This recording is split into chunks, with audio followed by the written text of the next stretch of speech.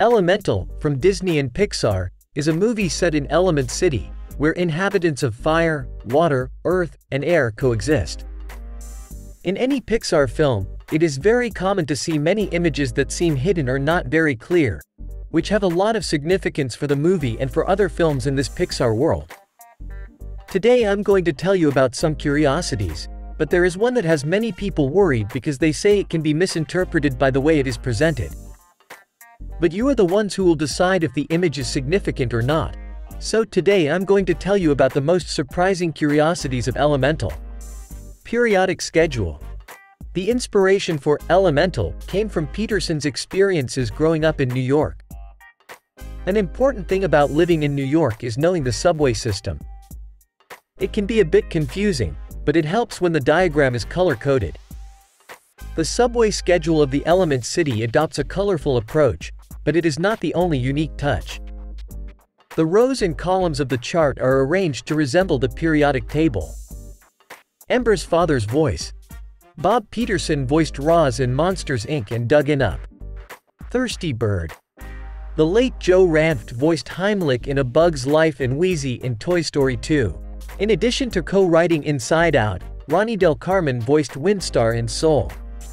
The Good Element.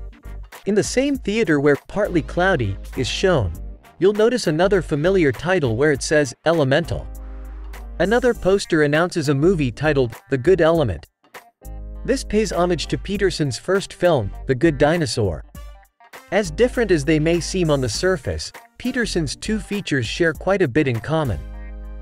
Both deal with the forces of nature, with Elemental taking a more literal approach. Both films also focus on characters working to overcome prejudice and coexist. A language of ice and fire. Upon arriving in the city of the elements, Ember's parents stand out in the crowd. This is not only due to their physical appearances, but also to language barriers. While everyone else speaks English, Mr. and Mrs. Lumen speak a fiery language. To make this world feel more authentic, the filmmakers turned to renowned conlanger David J. Peterson, who has created languages for projects like Dune, The Hundred, and Raya and the Last Dragon. Peterson is best known for his work on Game of Thrones, where he devised the Dothraki and High Valyrian languages, among others. At one point, the Elemental team used fire sound effects as a means of communication. Ultimately, the sounds would inspire Peterson as he crafted a native fire language known as Fire-ish. Blue Flame Souvenir Elemental is another Pixar film that accurately represents Asia. This hot streak started with Domee Shi's short, Bao, so it's fitting that Elemental introduces a reference to that Oscar-winning short. The blue flame is a sacred symbol that connects the lumens with their homeland, but that doesn't mean they can't commercialize it. On the Lumen family store counter, there's a display of blue flame souvenirs. The small ornaments resemble Bao's sensitive bun, although in a bluer tone. In addition to celebrating Asian culture, Elemental and Bao explore how children relate to parents while trying to make their own way. Both films also show how food brings families together. Element Presentation In the Garden District we see the metro sign as O Fe. Those are the chemical symbols of gold and iron. In Element City, it reads AHAL or A followed by H. Atomic number 1 hydrogen and then aluminum. Atomic number 13. So you get A113. And the hidden detail is that this is the classroom number at Cal Arts where numerous animators took their first steps. For the Fire City, the symbols are S and C, the chemical symbols of sulfur and carbon elements associated with fire and burning.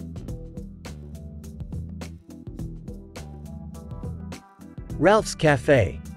We mentioned some businesses that make up the City of the Elements, but Ralph's Cafe is likely to resonate more with animation fans.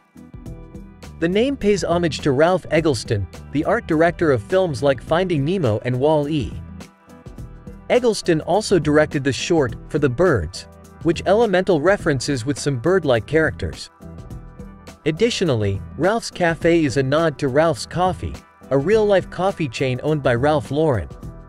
Here we see the word Toyota, which of course is related to the famous car brand called Toyota.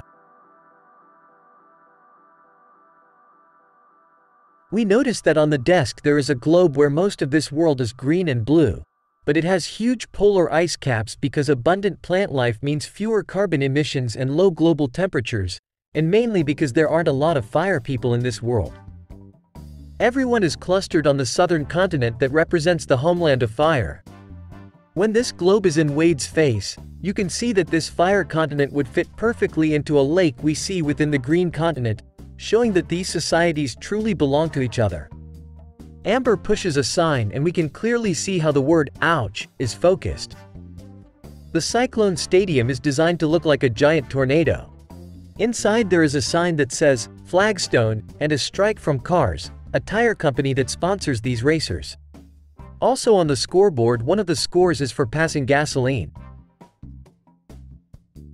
When they take the hot air balloon over the city, the light from the canvas fins makes a flower and this is related to Ember's last wish. In this movie, you can witness the rare flower of the Vivisteria. Ember tells him that Central Garden Station was flooded so he missed the opportunity to see that rare flower. There's a boat in the canal behind them, with a rocket on top. The Pizza Planet truck from this movie is a curiosity, but you realize if one looks closely at the conceptual art. In the background, there is a fire alarm, just a small detail that shows the history of this fire-phobic city. There is also a sign to join the Space Club with a planet with tentacles. In this case, it is a nod to Pixar's upcoming release called Elio. At the beginning, during the presentation of the elements, we can see the air element represented by different types of clouds. There's one type in particular, the pink clouds, which we can also see better in the movie's teaser that was released last year.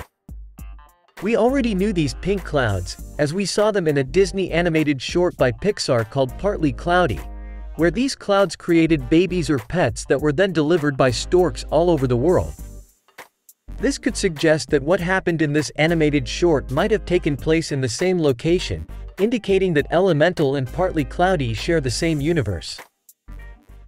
We know that Wade is water and if he is hit, water is supposed to come out. This scene was very strange for some because they have indicated that the image looks a bit weird, and that this can be a hidden or subliminal message. I don't know, you judge.